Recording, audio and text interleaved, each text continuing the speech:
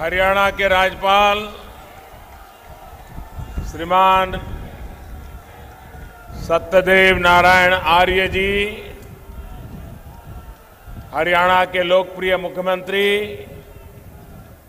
श्रीमान मनोहर लाल जी खट्टर, केंद्र में मंत्री परिषद के मेरे सहयोगी चौधरी वीरेंद्र सिंह जी राव इंद्रजीत सिंह जी, राज्य सरकार के सभी मंत्री महोदय, कुछ यहाँ बैठे हैं, कुछ वहाँ बैठे हैं, और भारी संख्या में पधारे हुए हरियाणा के मेरे प्यारे भाइयों और बहनों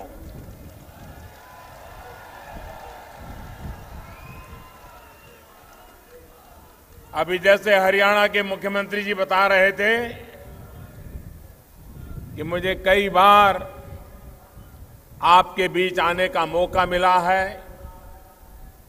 और अब तो थोड़ी देर में ही दो बार आ चुका आपके बीच में।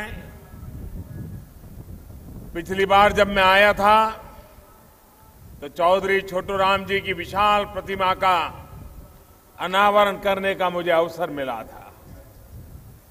ये प्रतिमा हरियाणा के गौरव का प्रतीक है। आज फिर से मैं हरियाणा में हूँ, जहाँ प्रदेश को तीन हज़ार तीन सौ करोड़ रुपए से ज़्यादा की सौगात मिली है। आज हरियाणा ने चौतरफा विकास की दिशा में एक और मज़बूत कदम उठाया है।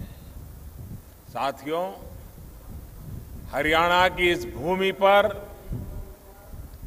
ज्ञान का प्रकाश तो है, साहस की गौरव गाथा भी जुड़ी हुई है।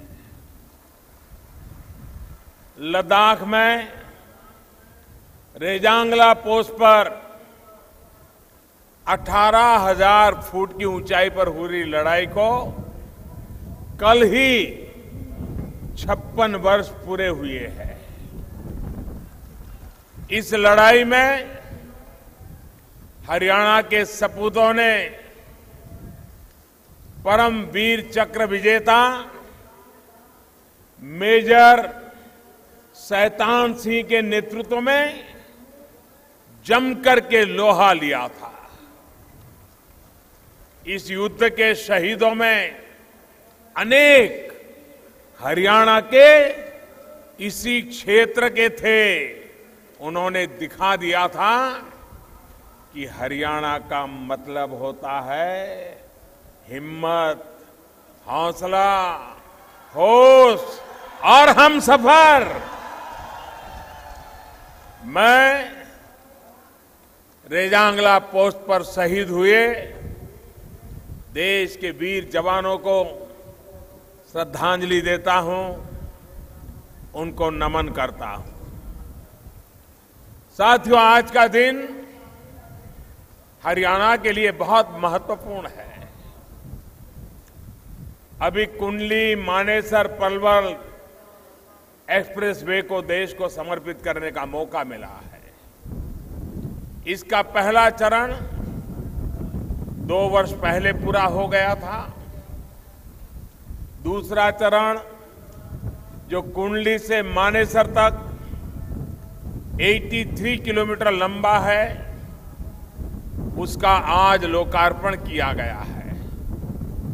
इसके साथ ही अब 135 किलोमीटर का ये एक्सप्रेस वे पूरा हो गया है। इसके साथ ही करीब 500 करोड़ की लागत से बनी वल्लभगढ़ मुजेसर मेट्रो लाइन की शुरुआत भी की गई है। ये दोनों योजनाएँ जहाँ कनेक्टिविटी को लेकर इस क्षेत्र में नई क्रांति लाएगी, वहीं श्री विश्वकर्मा कौशल विश्वविद्यालय के ज़रिए यहाँ के युवाओं को नई ताकत मिलेगी। भाइयों और बहनों, आज का ये अवसर दो तस्वीरों को याद करने का अवसर है। एक तस्वीर वर्तमान की है। ये तस्वीर है कि जब संकल्प लेकर कोई कार्य किया जाता है तो उसे सिद्धि भी मिलती है। ये तस्वीर भारतीय जनता पार्टी सरकारों की कार्य संस्कृति की है। हमारे कार्य करने के तरीके की है। वही दूसरी तस्वीर हमें पहले की सरकार के समय में कैसे काम होता था, इसकी बराबर याद भी दिलाती है। वो तस्वीर याद दिलाती है कि इस एक्सप्रेस वे पर 12 साल से काम चल रहा था।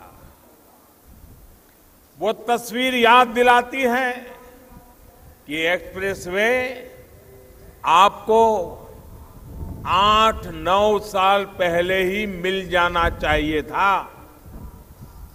लेकिन ऐसा नहीं हुआ।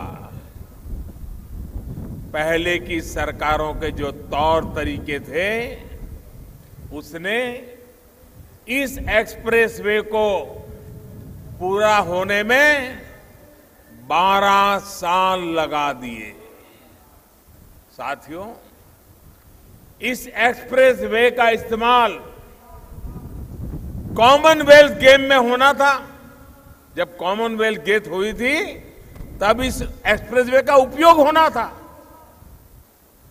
लेकिन कॉमनवेल्थ खेल की जो गति की गई, वही कहानी इस एक्सप्रेस के भी सबूत बन गई। मुझे ध्यान है कि जब प्रगति की बैठकों में मैंने इस प्रोजेक्ट की समीक्षा करनी शुरू की थी तो कितने सारे पैंच पता चले थे। केंद्र सरकार द्वारा निरंतर फॉलोअप और हरियाणा में बीजेपी सरकार बनने के बाद इसके कार्य में आई तेज़ी ने हमें आज का ये दिन दिखाया। वर्षों का इंतज़ार खत्म किया है। भाई और बहनों, सोचिए, अटकाने, लटकाने और भटकाने वाली संस्कृति ने हरियाणा का, यहाँ की जनता का, पूरे दिल्ली एनसीआर का कितना बड़ा नुकसान किया है। साथियों, पहले की सरकार में जिस तरह इस परियोजना पर काम हुआ, वो एक केस स्टडी है कि कैसे जनता के पैसे को बर्बाद किया जाता है। कैसे जनता के साथ नाइंसाफी की जाती है। जब ये प्रोजेक्ट शुरू हुआ था तो अनुमान लगाया गया था कि इस पर 1200 करोड़ रुपए का खर्च होगा। आज इतने वर्षों की देरी की वजह से इसकी लागत बढ़कर के तीन गुना से ज़्यादा हो गई। साथियों, अगर पेरीफेरल एक्सप्रेसवे का ये काम समय पर पूरा कर लिया गया होता तो आज दिल्ली में ट्रैफ़िक की व्यवस्था कुछ और होती। अब इस एक्सप्रेसवे के बन जाने से दूसरे राज्यों से आने वाली बड़ी बड़ी गाड़ियों के सामने दिल्ली के बीच से होकर गुजरने की मजबूरी खत्म हो जाएगी। वो दिल्ली में दाखिल हुए बिना ही, वहाँ के ट्रैफ़िक को प्रभावित किए बिना ही बाहर ही बाहर से निकल जाएँगे। इस एक्सप्रेसवे की वजह से अब दिल्ली में दाखिल होने वाली गाड़ियों की संख्या में काफ़ी कमी आएगी। साथियों, ये एक्सप्रेस वे दिल्ली और आसपास के इलाके में प्रदूषण को कम करने में बड़ी भूमिका निभाएगा। एक तरह से देखें तो expressway, economy environment ease of living के साथ ही, ईज ऑफ़ लिविंग की सोच को भी, ईज ऑफ़ ट्रैवलिंग की सोच को भी, ये गति देने वाला है। मैं हरियाणा के लोगों को, दिल्ली एनसीआर के लोगों को, इस एक्सप्रेस वे के लिए बहुत बहुत बधाई देता हूँ। अब दिल्ली के चारों तरफ़ लगभग 270 किलोमीटर के एक्सप्रेसवे का नेटवर्क पूरा हो गया है। भाइयों और बहनों, आज ही वल्लभगढ़ से मुझेसर को भी मेट्रो के ज़रिए जोड़ दिया गया है। अब वल्लभगढ़ भी मेट्रो के नक्शे पर आ गया है। इससे यहाँ के लोगों को दिल्ली जाने में और सुविधा तो होगी ही, उनका समय और पैसा भी बचेगा। साथियों, हमारी सरकार कनेक्टिविटी को सिर्फ़ एक ज़रूरत नहीं बल्कि देश की समृद्धि, सुगमता और सशक्तिकरण का माध्यम मानती है। हमारी कोशिश है कि देश में road connectivity, rail connectivity, water connectivity, highway connectivity और हाईवे कनेक्टिविटी का ऐसा इंटीग्रेटेड इंफ्रास्ट्रक्चर बने जो 21वीं सदी की आवश्यकताओं को पूरा करने वाला हो, जो एक दूसरे को सपोर्ट करें। इस समय देश में अनेक रेलवे कॉरिडोर्स, हाईवे कॉरिडोर्स पर तेज़ी से काम चल रहा है। देश के अनेक शहरों में इंटीग्रेटेड ट्रैफ़िक मैनेजमेंट सिस्टम का काम भी जोरों पर है। लोगों को आने जाने में कम समय लगे। शहरों में जाम की समस्या कम हो। हमारे उद्योगों के पास ट्रांसपोर्ट के आधुनिक साधन, सस्ते साधन का विकल्प हो, इस दिशा में काम किया जा रहा है। इन सारे प्रयासों में इस बात पर भी ज़ोर है कि पर्यावरण की रक्षा हो। इसके लिए ट्रांसपोर्ट के ऐसे साधनों को बढ़ावा दिया जा रहा है जो प्रदूषण को कम करने में मदद करते हो। इलेक्ट्रिक रेल लाइनों का विस्तार, इलेक्ट्रिक कारों के लिए संसाधनों का विस्तार हमें इसी दिशा में ले जा रहे हैं। साथियों देश में नेक्स्ट जनरेशन इंफ्रास्ट्रक्चर के लिए हमने स्पीड और स्केल का भी ख्याल ध्यान रखा है। बीते चार वर्षों में सरकार ने तीन लाख करोड़ रुपए से अधिक खर्च करके करीब तैतीस हज़ार किलोमीटर से अधिक के नए हाईवे बनाए हैं। पहले की सरकार ने अपने साढ़े सात साल में जितने हाईवे बनाए थे, उससे भी ज़्यादा हमने चार साल में बना दिए। साथियों, लोग वही हैं, काम करने वाले वही हैं, दफ्तर भी वही हैं, फाइलें भी वही हैं। लेकिन जब इच्छा शक्ति होती है, संकल्प शक्ति होती है तो कोई भी लक्ष्य हासिल करना मुश्किल नहीं होता है। यही वजह है कि जहाँ 2014 में पहले 2014 के पहले, एक दिवस में सिर्फ़ 12 किलोमीटर हाईवे बनते थे। आज लगभग 27 किलोमीटर हाईवे का प्रतिदिन निर्माण हो रहा है। इसी गति से भारत माला प्रोजेक्ट के तहत देश में पैंतीस हज़ार किलोमीटर हाईवे नेटवर्क स्थापित करने का काम तेज गति से आगे बढ़ रहा है। सिर्फ़ हाईवे नहीं रेलवे कनेक्टिविटी में भी देश में तेज़ी से काम हो रहा है। जहाँ पटरियाँ नहीं थी, वहाँ तेज़ी से रेल नेटवर्क बिछाया जा रहा है। जहाँ ज़रूरत है, वहाँ पटरियों का विस्तार किया जा रहा है। साथियों, हमारी सरकार ने हमेशा से ही देश की आवश्यकताओं लोगों की आशा आकांक्षाओं को आगे रख करके ही काम किया है। उसके हिसाब से ट्रेनों की स्पीड भी बढ़ाई जा रही है। ट्रेनों का और स्टेशनों का आधुनिकीकरण किया जा रहा है। आपने देखा होगा कि देश में बनी बिना इंजन वाली आधुनिक ट्रेन भी पटरियों पर उतरने को आज तैयार खड़ी है। ये ट्रेन मेक इन इंडिया की चमक को और बढ़ा रही है।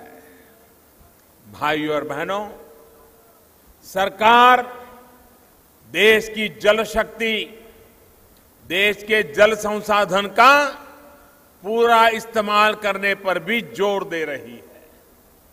देश में सौ से ज़्यादा नए वाटरवेज बनाए जा रहे हैं। अभी कुछ दिन पहले ही बनारस में नदी रूट से देश का पहला कार्गो कंटेनर आया है। बनारस हल्दिया वाटरवे पर अब पानी के जहाजों से माल की ढुलाई की शुरुआत हो गई है। गंगा जी के माध्यम से यूपी पूर्वोत्तर राज्यों से जुड़ गया है। इसके साथ ही देश में हवाई सेवा को सस्ता करने के लिए उड़ान योजना चलाई जा रही है। यहाँ हिसार में भी हवाई अड्डे का निर्माण किया गया है ताकि हिसार भी उड़ान योजना से जुड़ सके। भाई और बहनों, सरकार की नीतियों का असर ये हुआ है कि हवाई चप्पल पहनने वाले मेरे भाई बहन में अब हवाई जहाज़ में सफ़र करने का हौसला आया है। साथियों, डिजिटल भारत अभियान के तहत देश की हर पंचायत को ब्रॉडबैंड कनेक्टिविटी जोड़ने की योजना पर भी तेज़ी से काम हो रहा है। पहले की सरकार के चार साल में, ये जरा याद रखना, पहले की सरकार में जहाँ चार साल में सिर्फ़ उनसाठ पंचायतें, साठ भी नहीं, फिफ्टी नाइन पंचायतें ही ऑप्टिकल फाइबर से जुड़ पाई थी। चार साल में फिफ्टी नाइन वहीं हमारी सरकार में इन चार सालों में अब तक एक लाख से अधिक पंचायत को ऑप्टिकल फाइबर से जोड़ा जा चुका है। कहा उनसाठ और कहा एक लाख से ज़्यादा।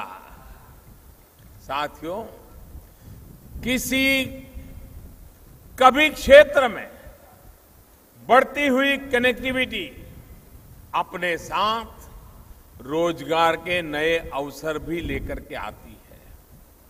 ये हाईवे का बनना, ये मेट्रो या रेल का बनना जलमार्ग का विकसित होना एक पूरा इकोसिस्टम बनाता है। इस इकोसिस्टम का फ़ायदा ट्रांसपोर्ट कंस्ट्रक्शन से लेकर मैन्युफैक्चरिंग और सर्विस सेक्टर तक को होता है। मुझे बहुत खुशी है कि हरियाणा की सरकार नौजवानों को रोज़गार के नए अवसर देने के साथ ही उन्हें रोज़गार के बदलते के तौर तरीकों के लिए भी तैयार करने पर ज़ोर दे रही है। श्री विश्वकर्मा कौशल विश्वविद्यालय का शिलान्यास इस दिशा में बहुत बड़ा कदम है। ये विश्वविद्यालय हरियाणा और इस क्षेत्र के युवाओं को बदलती हुई नेचर ऑफ़ जॉब के मुताबिक स्किल ट्रेनिंग का काम करेगा। ये विश्वविद्यालय यहाँ के नौजवानों को अपने दम पर अपना उद्योग शुरू करने की भी शिक्षा देगा, शक्ति देगा। मुझे पूरी उम्मीद है कि कौशल के देवता भगवान विश्वकर्मा के आशीर्वाद से इस विश्वविद्यालय के छात्रों के लिए भविष्य की राह और आसान होगी। भाइयों और बहनों, आज हरियाणा निर्यात करने के मामले में देश में अग्रणी राज्यों में है। इसमें राज्य के बाईस हज़ार से ज़्यादा छोटे लघु उद्योग और मध्यम उद्योग, यानी एमएसएमई को उनका बहुत बड़ा योगदान है। ये कौशल विश्वविद्यालय यहाँ के एमएसएमई सेक्टर को भी मज़बूत करेगा। यहाँ के पढ़कर के निकले छात्र, ज़ीरो डिफेक्ट, ज़ीरो इफ़ेक्ट, ऐसे उत्पादों का निर्माण करेंगे। मेक इन इंडिया की चमक और बढ़ाएँगे। साथियों, आप सभी को ये भी जानकारी होगी कि एमएसएमई सेक्टर को बढ़ावा देने के लिए अभी हाल में ही 12 बड़े फैसले लिए हैं। अब जीएसटी से जुड़े मेरे हरियाणा के छोटे कारोबारी को, एक करोड़ रुपए तक का लोन सिर्फ़ 59 मिनट में मिल जाएगा। इसके अलावा उत्पादन बढ़ाने के लिए, उसके लिए मार्केट का दायरा बढ़ाने के लिए, उसके लिए प्रक्रियाओं को आसान के लिए भी कई फैसले लिए गए।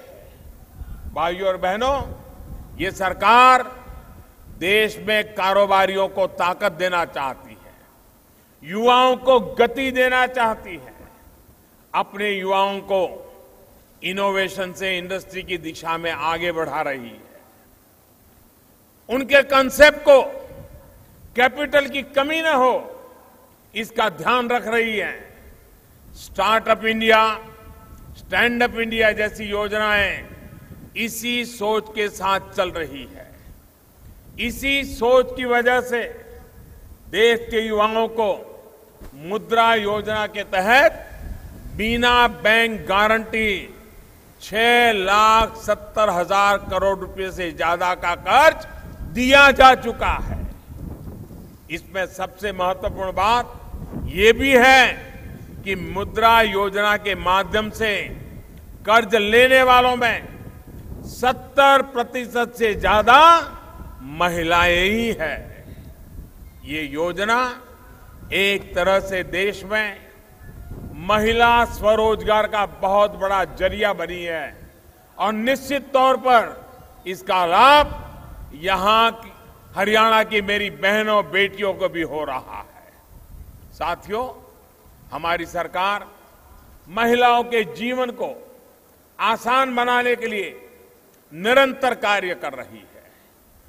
चाहे देश में स्वच्छ भारत अभियान के ज़रिए बने नौ करोड़ टॉयलेट हो या फिर उज्ज्वला योजना के तहत दिए गए लगभग छह करोड़ गैस कनेक्शन, दोनों ने महिलाओं की ज़िंदगी को आसान बनाया है। केंद्र सरकार के विजन को आगे बढ़ाने में हरियाणा ने भी पूरा सहयोग दिया है। बेटी बचाओ, बेटी पढ़ाओ योजना और खेलो इंडिया की सफलता इसका बहुत बड़ा उदाहरण है। खेलों में देश के लिए सबसे ज़्यादा मेडल यहाँ की ही बेटियाँ और बेटे ला रहे हैं। कॉमनवेल्थ गेम्स हो या एशियाड हरियाणा की बेटियाँ, हरियाणा के युवाओं का डंका पूरी दुनिया में बज रहा है। भाई और बहनों, भाजपा की सरकारें चाहे केंद्र में हो या राज्य में, चाहे हरियाणा में हो या राजस्थान में, चाहे मध्य प्रदेश में हो या छत्तीसगढ़ में, चाहे उत्तर प्रदेश में हो या उत्तर पूर्व में, सबका साथ, सबका विकास के मंत्र के साथ हम काम कर रहे हैं। इसका नतीजा देश में व्यापक स्तर पर आज नज़र आने लगा है।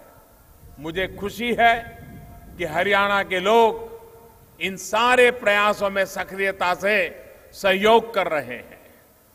एक बार फिर मैं आप सभी को वेस्टर्न पेरिफेरल एक्सप्रेसवे, मेट्रो और स्किल यूनिवर्सिटी के लोकार्पण और शिलान्यास की बहुत बहुत बधाई देता हूँ। आप सभी का हृदयपूर्वक बहुत बहुत धन्यवाद करता हूँ।